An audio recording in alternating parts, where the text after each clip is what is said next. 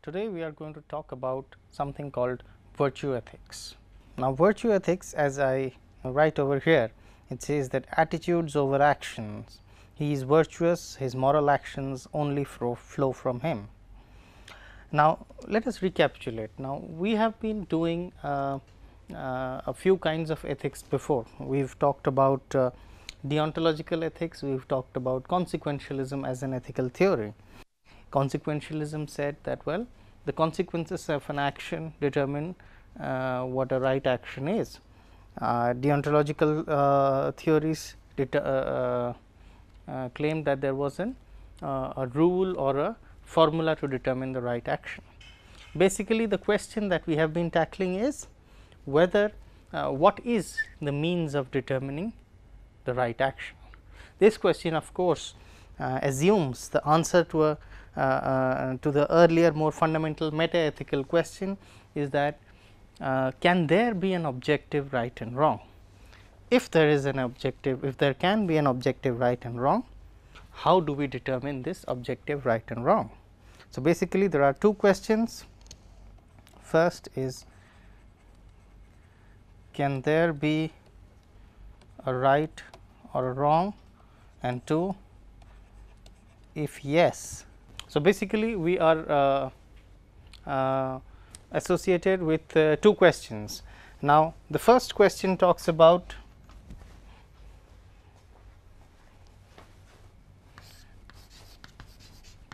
can there be an objective right and wrong?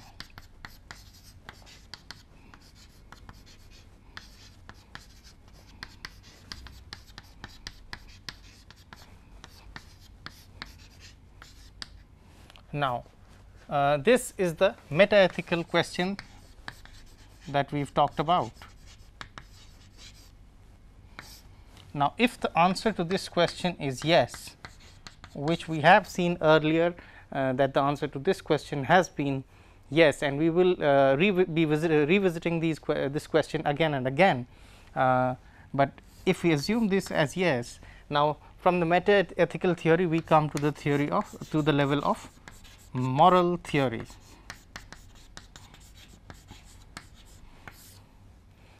How do we determine the right and wrong? Now, one answer to this was uh, consequentialism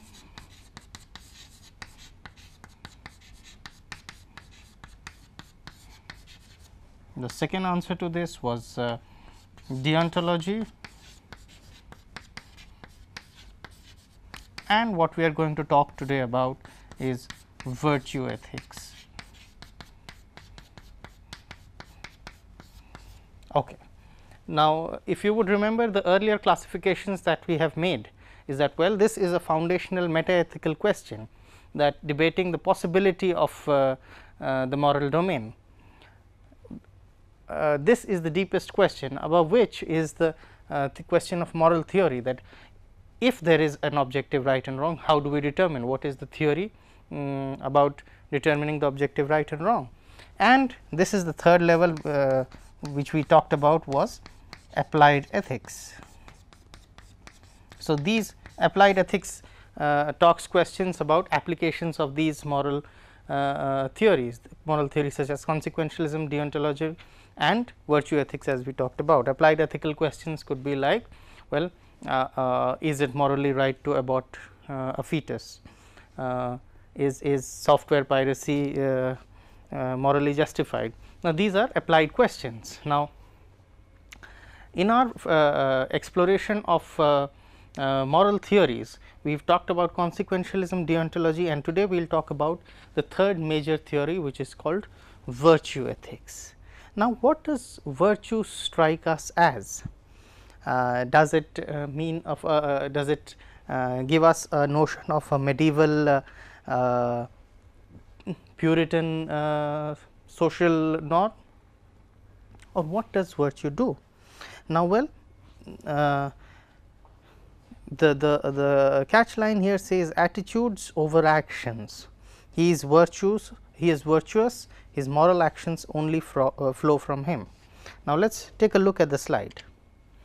Now, till now we have been exploring moral theories that are in the form of rules, principles and formulae to predict the right course of action.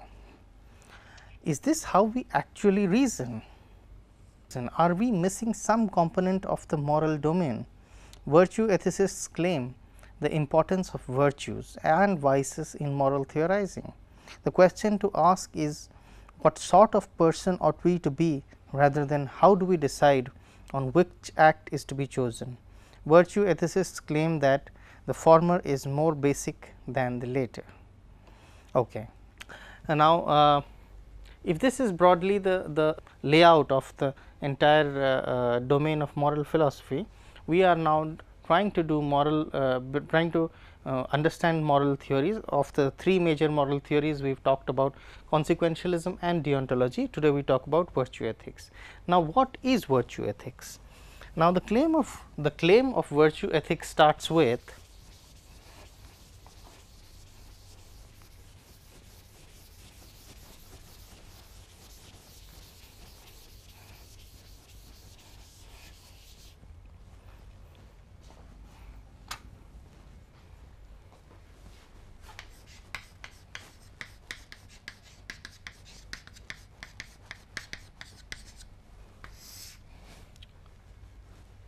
Uh, we have talked about principles, rules and consequences. Are these enough to explain um, the moral domain or is there something, uh, something lacking? Now, there have been many philosophers who have found it insufficient. Now, let us introspectively look how do we uh, uh, uh an instance of moral reasoning that we may go through in life. Uh, let us say I have uh, found a, a, a gold coin on the road, do I pick it up or do I not pick it up? Now, how do we actually decide whether we are going to uh, whether um, I am going to pick up that uh, gold coin that I see lying on the road or I am not going to pick up. There can be various combinations. First combination is well first I see that there are people seeing me. So, uh, if I pick it up and they would know that well it does not belong to me. So, perhaps I would be known as a thief, but the value of the gold coin is uh, enormous for me to jump that uh, uh taboo. Maybe the, another situation where there are there is nobody looking and I can quietly pick it up.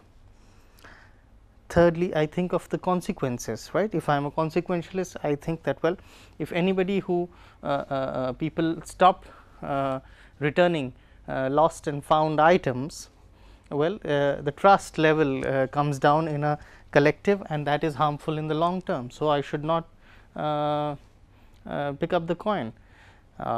let's let's let's make this example simpler. Let's say I see the coin and I do not pick it up. What can be the reasons for it, right? First, consequences. Let us say that well I see picking up the coin uh, uh, erodes uh, the general trust factor among the collective say the society or the collective I belong to and therefore, I do not pick it up. Another factor could be well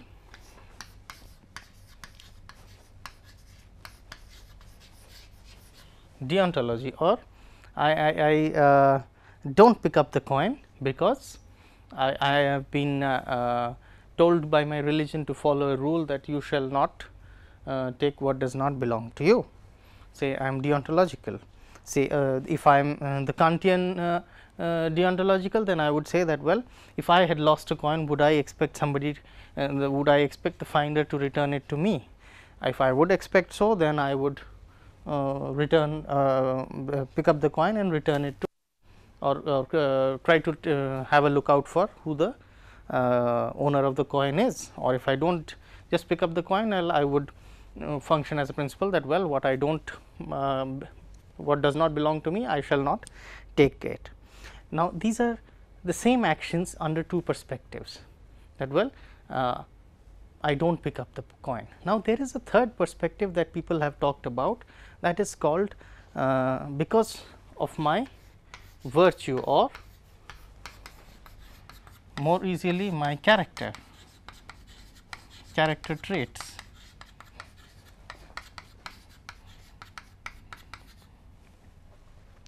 Now, I could also not pick it up not as a matter of habit or tendency, but as a matter of my choice of how I have decided to be as a person to uh, not uh, suppose take in uh, to not take in the uh, to not uh, acquire what does not belong to me. And that is a character trait right? Not acquire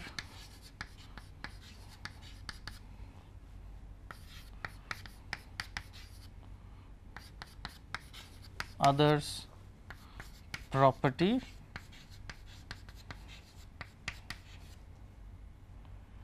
covertly.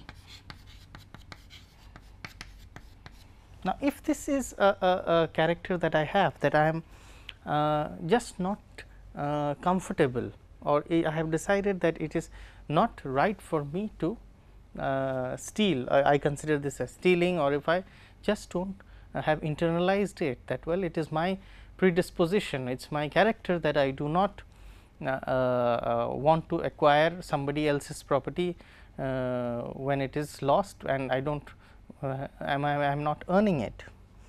Now, is not this closer to the virtue ethicists would say that this is the way it is closer to the reasoning that takes place in our uh, mind. Now, look at it this way in such a model predicament are we thinking by rules, are we thinking by deontology, are we thinking by consequentialism? Well, the virtue ethicists say that well we act out of our character again not to be confused with tendency or behavioral patterns, but are uh, thought through and decided choices. Virtue ethicists claim the importance of virtues and vices in moral theorizing. So, there is something called virtue which has not been accounted for when we uh, uh, go in for moral theorizing. We have talked about consequences, we have talked about rules, but is not there something left out of the moral domain which is essential to make full sense of the moral domain. It is about being human, it is about having character traits. Now, it is not that uh, uh, um, a, a, brave person, a person who exhibits the courage of virtue, uh, the virtue of courage or bravery is always brave, but it is that it is a part of his character trait of his moral makeup that he chooses to be uh, uh, a brave person. So, when confronted with the situation and if he finds the odds um, of or the risks of courage less than the drive of the character trait, then he should then he would straight go ahead with the courageous act. So, what uh, taking a look at the slide, what the uh, virtue ethicists are talking about in the last bullet is that the question to ask is what sort of a person ought we to be rather than how to decide on which act is to be chosen. Virtue ethicists claim that the former is more basic than the later. Now, what sort of a person ought we to be? is that is a question and the other question is how to decide on which act um, is to be chosen. Now, the various theories that we have uh, uh, come across right now are answering the second question that is how to decide on which act is to be chosen. Virtue ethicists claim that the former is more basic than the later. Now, this is a question what sort of person ought we to be this is a question of, uh, of the various moral theories, but how to decide what act is to be chosen. Now, these are two crucial questions which would determine our stand on moral theory. Now, virtue ethicists claim that the former is more basic than the latter, that what sort of a person ought we to be that is the crucial question. Are we going to be uh, what kind of a character trait. So, when we say what kind of a person we actually mean what character trait or disposition that we exhibit. Now, whereas on the second one we either rule governed, rule or consequence governed.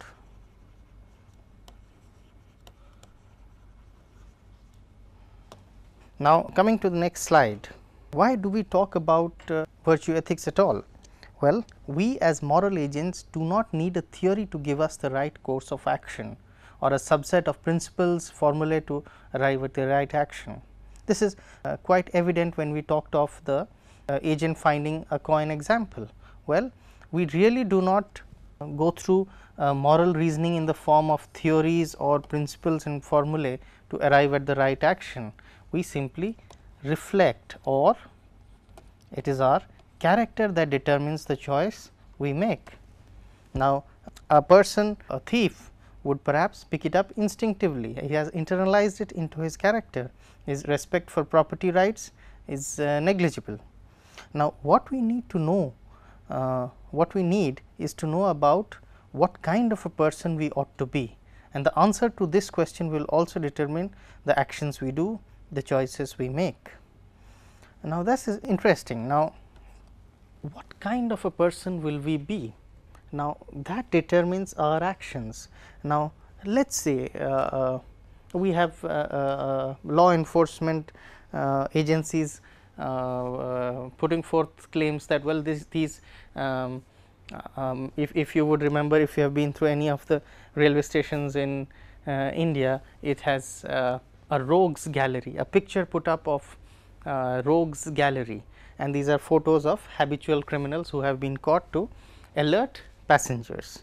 Now, what is a rogue? A rogue is one well uh, as per uh, uh, virtue ethicists understanding and as put forth uh, by the policemen in the uh, gallery of rogues on various stations is that well these are people of who are of a character pattern or who have character traits which are which do not respect the general moral ethos of the time of then and there.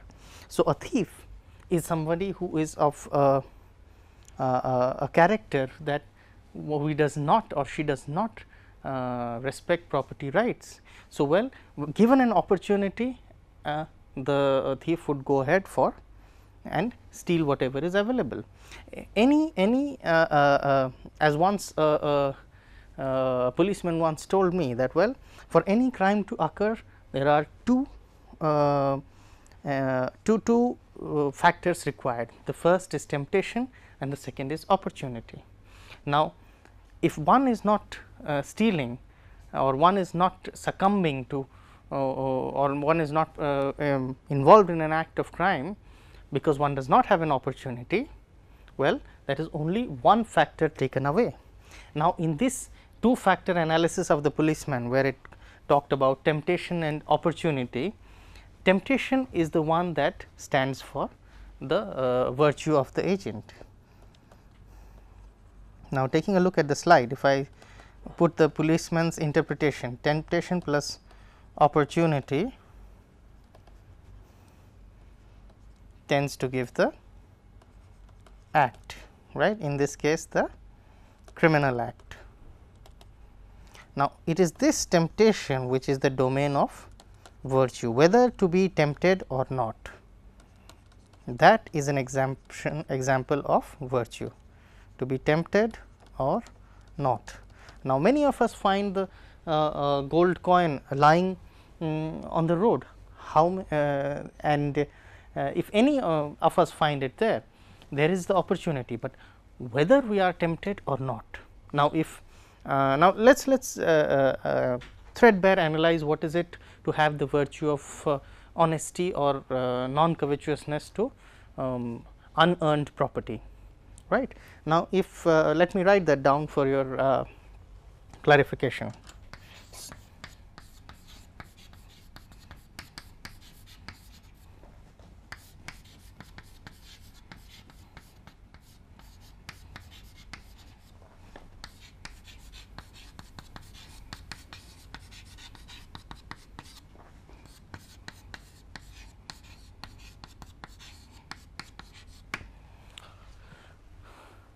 Now, suppose this is the uh, uh, uh, the attitude that I display that not coveting or acquiring the property that one has not earned. Now, giving into this uh, temptation is uh, displaying your character. Now, there are uh, when we let us take the same example that there are so many agents x, y and z all who find the gold coin and who did not pick it up. Now, x did not pick up the gold coin because he is afraid that he would be punished he would get caught and be punished. X does not display virtue ethics. The reason the moral reasoning is definitely not virtue ethics. Y does not pick up the gold coin because he is afraid that others might uh, uh, see him and uh, call him a thief. Again Y does not display virtue ethics. Uh, Z does not pick it up because he says that my religion uh, bans me to do it. Again that is not an example of virtue ethics, but let us say another person say A. A does not pick it up because he thinks that well uh, it is a part of his character trait that well I should just should not uh, take what does not belong to me not coveting or acquiring uh, unearned property. Now, if this is the sentence that we look at not coveting or acquiring unearned property. Now, here A is displaying an example of uh, a virtue that well uh, given the opportunity also he finds it wrong. It is uh, his law abide uh, his abiding by the norm or the law is only because he does not have the temptation to do it. In fact, he has the desire to uh, concur with the law rather than break it. Now, so here we talk about the preliminary thing is if you take a look at the slide, it is the character of the agent is prior to the uh, actions of the agent. Now, this is a crucial distinction which virtue ethics talks about. The character of the agent is prior or more fundamental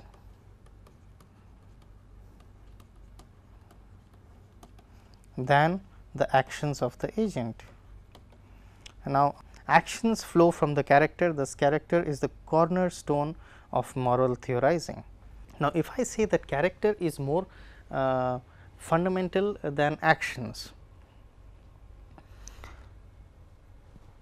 this would uh, include that well uh, it is not that well somebody who has been uh, not stealing all his life becomes a good person or uh, displays the virtue of honesty. Well, there could be various reasons for that person not to steal. It could be the lack of opportunity, it could be the lack of uh, uh, courage, it could be a fear of punishment in the other world. But if the person does not steal because he finds stealing unworthy of him of this being an internalized thought through character trait a decision that one will not covet others property or unearned or found property that is an example of virtue ethics. Now, let us take a look at the next slide. Well, Aristotle in the western tradition was the first one to talk of Plato and Aristotle both to give example of virtue ethics. Uh, Aristotle's notion of ethics has been claimed as one of the earliest examples of virtue ethics. Aristotle claims eudaimonia or human flourishing or happiness as the goal of life and actions ought to be performed with this goal in mind. This has been variously critiqued. One perspective is that functionality, the goal is a result of uh, reason or rationality in the human agent, not the other way round. Another perspective is why the goal of the moral agent or man is unique to him or her. Modern virtue ethics do not have to take the neo Aristotelian approach. Now, well let us take a look at this. Now, Aristotle has claimed that well uh, um, Aristotelian ethics was about virtues. We talked he did not talk about principles, he did not talk about consequences, but he has talked about characters or qualities that need to be developed and why do they need to be developed? They need to be developed for uh, what he termed as eudaimonia or uh, human flourishing and uh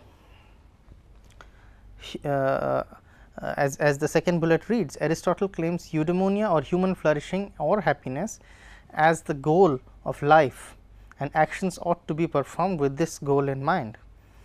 Uh, this has of course been variously critiqued that why is the goal or uh, a result of reason or uh, rationality in the human uh, agent and not the other way around that well it is our rationality that brings us forth uh, that gives us uh, reasons to act or that makes us develop our character traits. Another perspective is why the goal of the moral agent is unique to him or her. The Aristotelian way of thinking is making flourishing most important. So, it brings uniqueness to each individual. Each individual is moral for his own reason.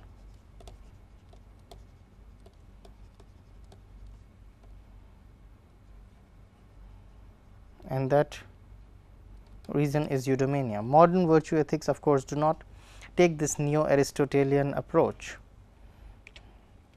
Now, what about modern virtue ethics? Well, there have been many ancient strains of virtue ethics both in the Indian and the Chinese traditions too. Modern virtue ethics uh, was given a new start or uh, originates uh, in the 1950s with uh, Anscombe's seminal paper titled Modern Moral Philosophy. Since then Alasdair MacIntyre and many other contemporary philosophers have carried forward virtue ethics in its modern avatar.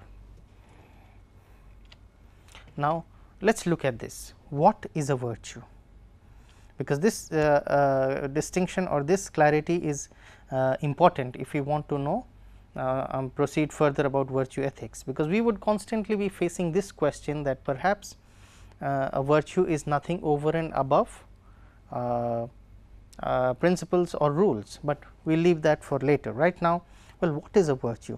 A virtue is not a habit or tendency to act in a certain manner. So, uh, suppose we have uh, instincts, suppose you have been trained to stand up when uh, a lady arrives or enters the room that is a part of your training it has become a part of your habit. Well, a virtue is more of a decided or thought through disposition. It is just a thought through disposition not a predisposition uh, also a predisposition can be said. Uh, it is a thought through disposition to orient one's actions for the simple reason that it is that kind of an action. That means, we have uh, decided to be honest only because our love for honesty right honesty for its own sake. So, when we are valuing honesty for its own sake that is a kind of a virtue and not uh, for the consequences it brings along. For example, being truthful is a virtue only when one decides to be truthful not for any other reason, but only because one values and wants to be truthful. The truthful agent is not amused by tales of chicanery, pities or despises uh, dishonesty and is not surprised by the triumph of honesty. So, let us look at what, what is meant by uh, a virtue. As we talked about a virtue is not uh, is not a, a, a a habit or a tendency say I have the tendency to overeat. Now, that is not a vice or a virtue uh, per se, but if I have uh, uh, over years cultivated my uh, attitude to uh, say self aggrandizement or uh, to, to courage or I think that well a courageous act is a good act because it is courageous not because it yields something or leads to something. Now, something which is intrinsically valuable. So, um, uh, an act of bravery is uh, uh, flows from the uh, virtue of courage, but that courage uh, or when a decision is taken, let us again put this forth in an example that would perhaps uh, make it very clear what is meant by virtue. Now, if, if I let us say an agent, let us use the familiar x, y and z. Now, x, y and z uh, uh, find uh, a girl drowning in the sea. They are at the seashore and they would like to go and each one of them chooses to rescue the girl in their respective scenario. Now, if uh, uh, x or y or z all three of them do the same action of uh, rescuing the drowning girl, but they do it for various reasons. What is their reasoning that takes place? Now, the virtuous uh, or virtue ethicists claim is that well when one does an act of courage, well when one is evaluating the uh, risks consciously or subconsciously, voluntarily or involuntary of taking the plunge into the uh, sea to save the girl. Say uh, on, on the cons it is that well it is a risky operation, it I, I might be pulled and uh, drowned by the drowning girl, uh, I am not very good in swimming, there is perhaps nobody to help uh, around. And whatever the list of cons are. Pros are well I can save the girl's life, it will uh, uh, uh, perhaps get me an award, it will get me recognition from people around, it will um, get me a new friend if I am able to save the girl. So, there are various dimensions that go on, but if just that this is an act of courage to take a risk to save a person, if that is in one of the pros that is an example of virtue. So, uh, just as I am I am uh, uh, courage is a virtue whereas habitual trainings like uh, uh, etiquettes are not strictly examples of virtue say uh, if, if I am trained to eat with my lips shut it will not strictly be an example of a virtue it will be an example of etiquette of a particular culture right. Now, if I am however, uh, uh, if I feel like sharing my food e uh, even if I have little with somebody who has none and is starving that is an example of generosity and I do this only because I uh, value generosity and I would like to be generous and with no other example. So, uh, notice virtue is a very interesting notion it makes our fundamental uh, attitudes as the source of our actions. Now, what would be the other way round of reasoning? Well, we would say that uh, somebody who does a lot of uh, uh, uh, generous acts is a generous person, but the virtue ethicist's way of saying is that a generous person does uh, uh, generous acts. So, generosity is first as a virtue or a character trait and um, the acts follow from it not the other way around. So, whether I am to be generous or not depends on whether I value generosity intrinsically per se. So, uh, I will be hungry if I uh, spare my food for the starving person, but I feel uh, uh, I value generosity more than what I value this. Now, of course, now in such a uh, situation there can be degrees of uh, virtues right we will talk about that in our next slide. Well, one or a group of actions does not determine the virtue of an agent. So, again this shows the example that virtue is more fundamental than actions.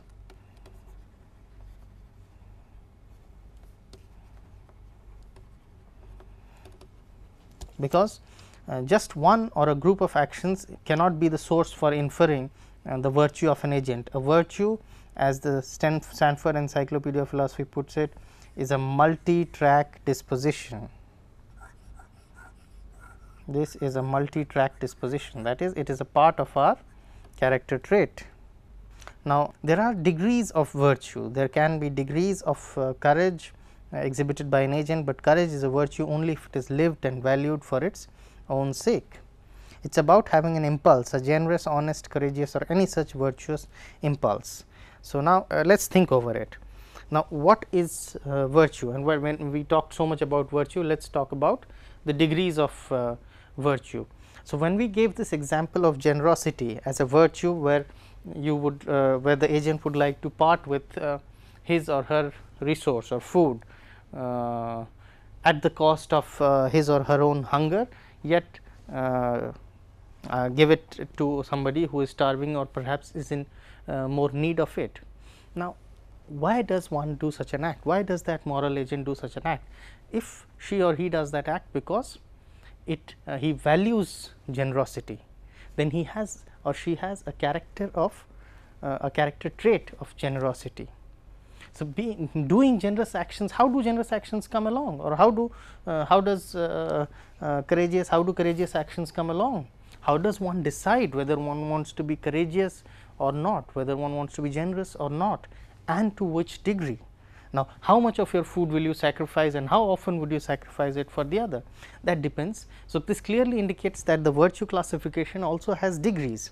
So, uh, now if, if uh, uh, uh let us talk about the drowning example. Now, if all the three agents x, y and z find that well uh, uh, the girl drowning is very deep into the sea and it has it is shark infested waters would uh, x, y or z do the definitely the decisions would be uh, revised well uh, uh, x may consider in this second situation uh, the act of saving the girl as foolhardiness or almost stupidity if uh, it is a shark infested zone or the water is too deep or x is not very good at swimming.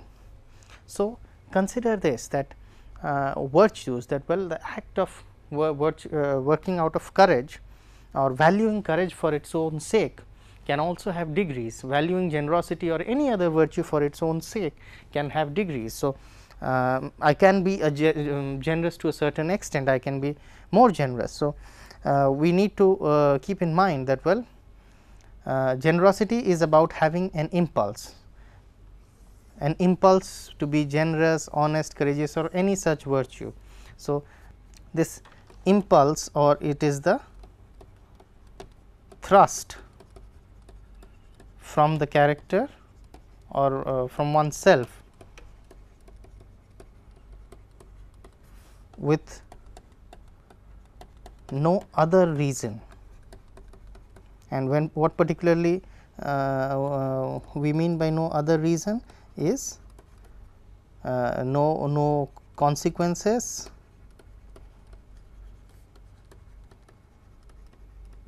or rule governance.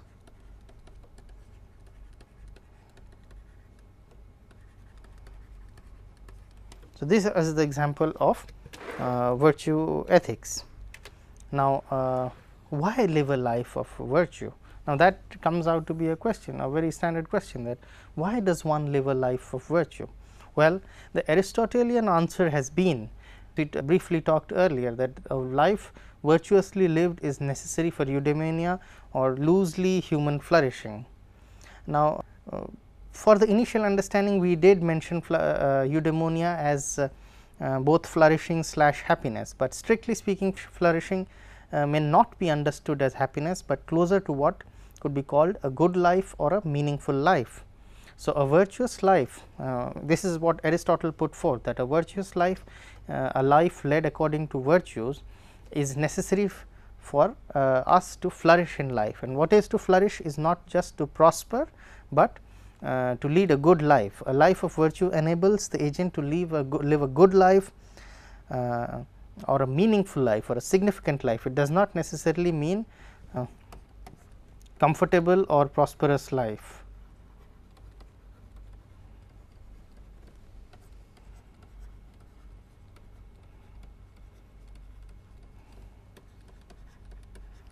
Rather it would mean a, a deeper significant life. A life of virtue enables uh, the agent to live a good life, a life that would not be possible had the virtues been sacrificed. right? So, uh, uh, this was the Aristotelian justification for following the life of virtue that eudaimonia or flourishing is necessary. Now, let us just briefly look at what um, could be the problem with virtue ethics. Now, various critics have argued that uh, does virtue ethics make any distinctive claim? Right? If what if I say that the virtuous person is merely predisposed to do the right action? The rightness of the action being arrived at from the principle or rule consequentialism deontology that the action emanates from. Because this is a very uh, tricky and difficult question that we come across now what is more foundational? Is it the character trait or the action? Do I choose to be generous? Uh, do I reason it from uh, uh, rules and principles or do I wish to be a generous person. Now, this, this uh, uh, crucial difference in conceptualizing uh, the primacy of either uh, uh, the character trait or the virtue or the action would determine what moral theory uh, innately appeals to you. Now, if you are concerned with every solution being derived from a principle or a theory, well uh, a principle um, of course, virtue ethics is also theory a principle or a rule or a format or an algorithm to come out of the answer you are more likely to be a consequentialist or a deontologist. Uh, Let us look at some real life examples of what could be problems with uh, the deontological or the uh, consequentialist claim and how, how, how does a difference between virtue ethics and consequentialism come about. Now, the virtue uh, uh, say that other conditions being equal. Uh, let us say uh, let us take the cliched example of a dam uh, to be built in area which would displace uh, say 1000 people, but will benefit uh, 50,000 people. Now, the consequentialist would say that well uh, this minority ought to sacrifice their own habitat and offer themselves to be relocated to equivalent or better, habi uh, uh, better habitat um, for the benefit of the goal. Now, this is a consequentialist uh,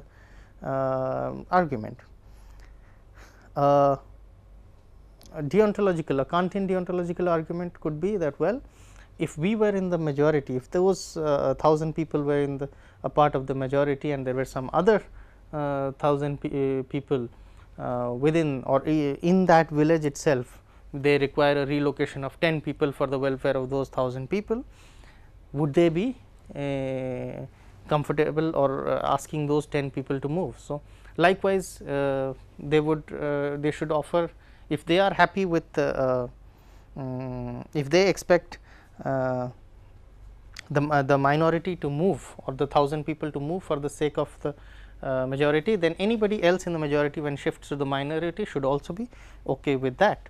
Now, if uh, uh, the, the 50,000 people expect the 1000 people to move and the 1000 people expect the uh, 10 people to move and the 10 people expect the 1 person to move.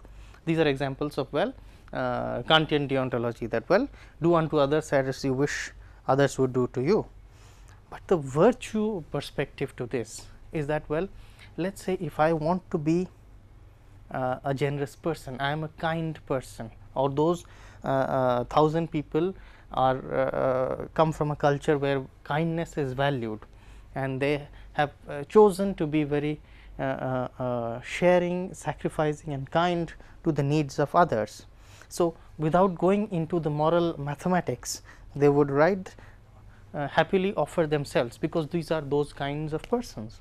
So, very often uh, uh, this would make sense to people in the world out there trying to move things and having to make uh, crucial sometimes ugly moral decisions that well it is easier to pursue or to ask uh, uh, uh virtuous uh, with virtuous I mean kindness as a virtue with uh, it is easier to ask kind people for sacrifices than to ask stubborn people. So, somebody who has committed to who wants to be kind or who has chosen to be kind will always be more sacrificing right. So, uh, let us say of the uh, uh, of, of, of a uh, stickler for rules who would like to well shut shop at 5 o'clock uh, every day evening because that is the end of the working hours suppose. Now, to a, a, strictly rule following person he would shut the shop at exactly 5 o'clock no matter what. But if uh, is a, a, longer queue people are waiting that particular day has a lot of demand or uh, uh, there is a certain requirement at his home which requires him to shut the shop earlier. Well, if he is very very determined about rule governance then he would not shut the shop 1 minute early, but he would also not shut the shop uh, uh, a minute late. Whereas, the virtuous one if is uh, uh, if the virtue to be followed is of, of uh, generosity or uh, any value such as kindness or uh, helpfulness, then well uh, he would perhaps extend the time a little bit on the days when uh, the demand is much more. He would uh, on the days when demand is a little less, he would be able to go back to uh, uh, the demand elsewhere and shut shop earlier. Now, the disadvantage of this kind of virtue thinking is it, it presumes or assumes it gives the uh, um, it, it, assumes a very high level of trust on the agent by the system. Now, if imagine if, if we uh, if the system gives a lot of uh, hmm, uh, trust puts a lot of trust in the uh, virtues of um, the frontline employees. Now, without a, a, a, strict rule based system, well it is likely that we fear or the distrustful part of uh, in uh, in us would fear that well there would be a uh, a collusion or a violation or a clear flouting of rules to uh, the consumers disadvantage. But if virtue is to be believed well then the person in the front line no more becomes um, a blind follower of rules, but has some discretionary power which we can he can exercise at that uh, moment because there cannot be a strict set of rules for every uh, possible situation. So, well uh, let us see other disadvantages with virtues well they have claimed that virtues are nothing but the predisposition to act rightly and nothing more. Character is nothing but the predisposition to perform the right acts. Now, I leave you with this question that character is it central or foundational and actions flow from it or is it uh, uh, are actions chosen and character is an uh, inference drawn from the various acts performed by an agent. That would be all for now.